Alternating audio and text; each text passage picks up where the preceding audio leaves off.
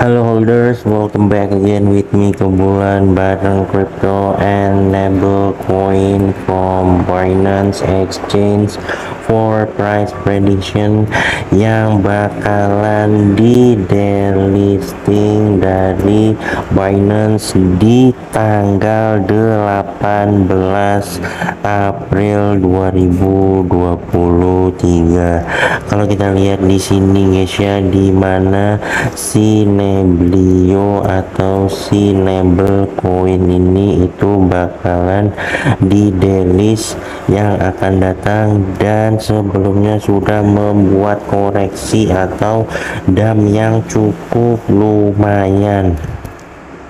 Dan pada hari ini di tanggal 15 ya guys ya sebelum kita menuju ke tanggal 18 yang akan datang si Nebel ini benar-benar membuat sebuah fake paham yang bisa saja membuat para holder ini sendiri menjadi FOMO dan bertanya-tanya kepada kripto kenapa bisa begini?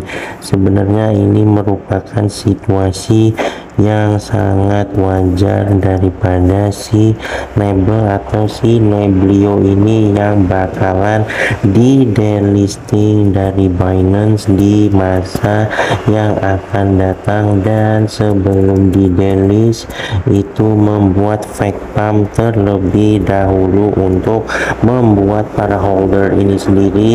Kebingungan dan buat teman-teman semua harusnya sih jangan buy si Nebel ini sendiri karena bakalan terjadi continuous dan lanjutan untuk si Neblio atau si Nebel coin ke depannya. Segitu saja update terbaru daripada si coin atau si Neblio ini sendiri yang bakalan melanjutkan continuous damnya yang akan di delist dari Binance di tanggal 18 April 2023 tetap lakukan analisa pribadi. Jangan jadikan ini bahan patokan. Disclaimer on. Thanks for watching. Salam Neblio Fake Pam Today